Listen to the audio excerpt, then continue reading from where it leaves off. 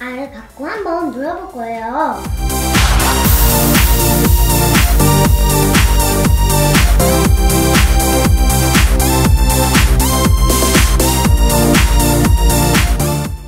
자, 먼저 플라스틱 통과 물을 준비해주세요.